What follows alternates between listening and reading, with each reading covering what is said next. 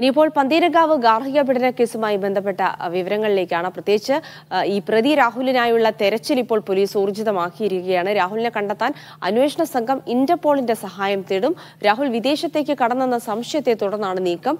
പരാതിക്കാരിയുടെയും കുടുംബത്തിന്റെയും മൊഴി പോലീസ് ഇന്നലെ രേഖപ്പെടുത്തിയിരുന്നു. മുഹമ്മദ് ഷംസീർ ഉണ്ട വിവരങ്ങൾ നൽകാനായി. ഷംസീർ ഇപ്പോൾ പ്രതിക്കായി നെട്ടോട്ടം ഓടുന്ന പോലീസിന്റെ ഭാഗത്തു നിന്ന് ആദ്യമുണ്ടായ ഗുരുതര വീഴ്ചയാണ് കാര്യങ്ങൾ ഇത്ര വഷളാക്കിയത് എന്നുള്ള കാര്യത്തിൽ തർക്കമൊന്നുമില്ല. പ്രതി വിദേശത്ത് ജോലി ചെയ്യുന്നയാളാണ് സ്വാഭാവികമായും വിദേശത്തേക്ക് തന്നെ കടക്കാനുള്ള സാധ്യതകളുണ്ട്. അങ്ങനെയാണെങ്കിൽ ഈ കേസിൽ പ്രതിയെ കണ്ടെത്തുന്നതുവരെയുള്ള നിയമ നടപടികളൊക്കെ ഇനിയും നീളാനുള്ള സാധ്യതകൾ തന്നെയാണ് അല്ലേ? തീർച്ചയായും ജിൽസി സൂചിപ്പിച്ച പോലെ തന്നെയാണ് കേസിന്റെ ആദ്യഘട്ടത്തിൽ പോലീസ് വലിയ തോതിൽ ഉദാസീനത കാണിച്ചു അലംഭാവം കാണിച്ചു പരാതിക്കാരെ പരിഹസിക്കുന്ന നിലപാടിലേക്ക് പോയി. പ്രതിയായ രാഹുൽ വിദേശത്തേക്ക് കടന്നു എന്നൊരു നിഗമനത്തിലാണ് പോലീസ് ഉള്ളത്.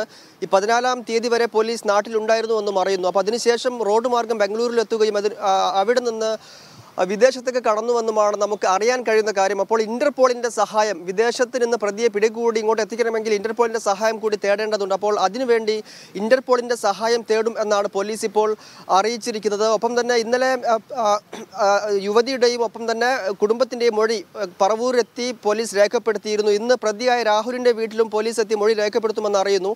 രാഹുലിന്റെ അമ്മയുടെയും സഹോദരിയുടെയും മൊഴിയാണ് പോലീസ് ഇന്ന് രേഖപ്പെടുത്തുക.